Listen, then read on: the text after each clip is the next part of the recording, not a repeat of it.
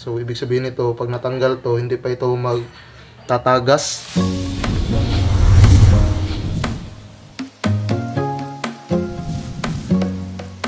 Hello guys, magandang araw and welcome back sa aking channel. At sa araw na ito guys ay kung nakikita nyo itong gripo ko, yan, leak na siya. Ibig sabihin yan, yung gasket niya kailangan ng palitan. Sa ngayon, ah, tanghali na, alas dos ng hapon, medyo mahina ang pressure ng tubig. So, yan lang ang tulo niya. Pero pagka gabi, malakas ang pressure ng tubig, wala nang gumagamit sa tubig, malakas itong tumulo. So, kailangan nating palitan ang kanyang ah, dito, gasket. Nakabili na ako ng gasket. Yan siya, WG. Sa Ace Hardware ko nabili ito. So, sa Ace Hardware rin ako pumunta para bumili ng gasket nito. So, ito yung gasket niya guys. Kakaiba ang kanyang gasket. Naalala ko kasi yung gasket na ginagamit sa mga gripo noon. Ano lang yun? Parang bilog lang na ah, goma. Pero ito, buong ganito siya. Tingnan natin ngayon. Buksan natin tong ating gripo dito. Dito yata to i-open. Kita natin ng kutsilyo para tanggalin tong kanyang cover dito. So guys, kung hindi pa kayo nakasubscribe sa aking channel, mag-subscribe sana kayo. Yan, natanggal na agad. At hit niyo rin yung bell icon para ma-notify kayo every time na mag-upload ako ng bagong video. So, tabi natin to, no? Ayan, yung screw niya. Ayan, nasaan tayo? Tanggalin natin tong screw niya sa loob. Okay lang siyang tanggalin. Tingnan natin kung yun ba talaga ang kanyang gasket. So, ibig sabihin nito, pag natanggal to, hindi pa ito magtatagas. So, ayan ang kanyang gasket talaga. Tanggal natin to. Ganyan lang siya. So, open natin tong gasket natin na nabili. Ito ba talaga ang sukat niya? Tingin ko nga, magkamukha sila. So yan, parehong pareho nga. So ang gagawin natin ngayon guys, gamitan natin to ng adjustable na wrench. So bago natin siya tanggalin guys, kailangan patayin muna natin yung pinaka main na ano natin kasi pag tinanggal mo yan, tatagas na yan ang tubig. Hindi mo yan mapipigilan. Ito yung linya namin ng tubig. Tayin muna natin.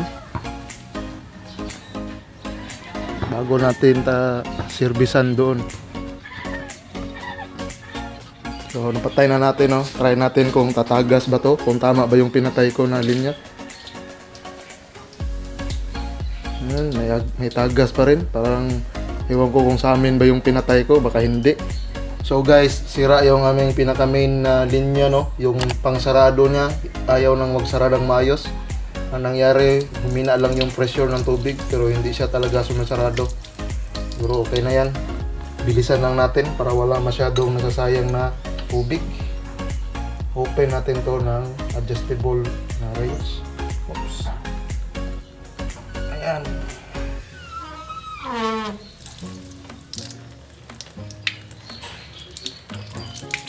Ayan, tumatagas pa rin siya. So ito yung original niya. Yan.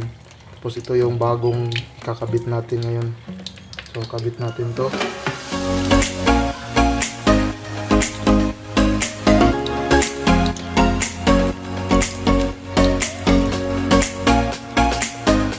Yan. Sarado na siya.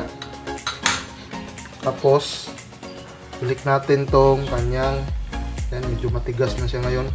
Hindi mo na kayang kamayin lang. Kagaya nito kanina, kinakamay ko lang. Yung kanyang ano. Yan. Ito hindi kayang kamayin lang. Balik na natin. Lock natin. Screw. Balik natin yung screw. Tapos itong kanyang sticker or cover. Yan. So yan napalitan na natin puntahan natin yung main line i-open natin siya uli. Try natin kung malakas ba ang pressure. Babalik ko siya sa pressure kasi sinarado ko siya. So guys, na-open ko na doon. Tingnan natin kung bumalik ba yung pressure. Ayan. Okay na. So, successful na nakabit natin. So guys, ayan o. Successful nating naikabit ang kanyang bagong gasket. Hindi ko alam na ganito pala ang gasket ng mga gripo na to. Kung gustuhan nyo yung video guys, like, dislike, kayong bahala. At sana ay mag-subscribe kayo sa aking channel.